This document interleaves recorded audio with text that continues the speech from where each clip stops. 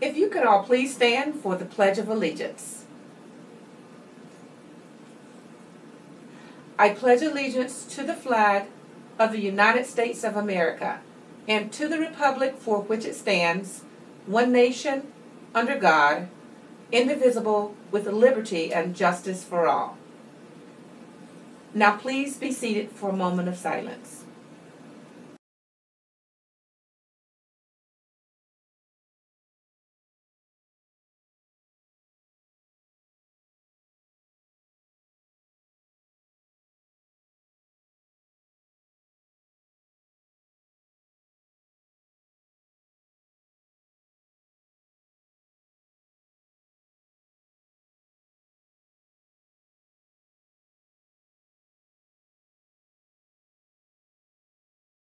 Good morning, Woodbridge Middle School. Today is February 28th and it is a B day.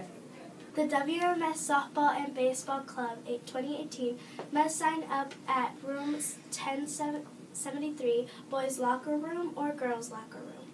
The club dates are Thursdays at 3:15, February 22nd, March 1st, March 8th, and March 15th. To participate, you must have concussion training or sports physical. If you have any questions, speak to Coach Lowry in 1073 or Coach Phillips. March Book Madness is coming. All during the month of March, a bracket will be set up in the cafeteria for books, with books competing to be the champion. Students will have the opportunity to vote each week to determine which books will go on the next round of the tournament. Here is the list of books that will have made to it to the 16. The list of books can also be found on the library's homepage. Start reading today. Order your yearbook. You can order online with a paper order form. All 8th graders who pre order will be invited to a breakfast where they will receive their yearbooks one day before everyone else.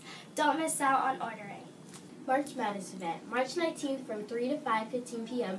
We will be holding a faculty versus student basketball match. Visa card holders will be free. Concessions will be sold. The student team will be made up of five girl varsity members and five boy varsity members. Coaches will select. Tickets will be sold at the door. Wear black if you're supporting the student team or white for the teaching staff. Today's lunch will be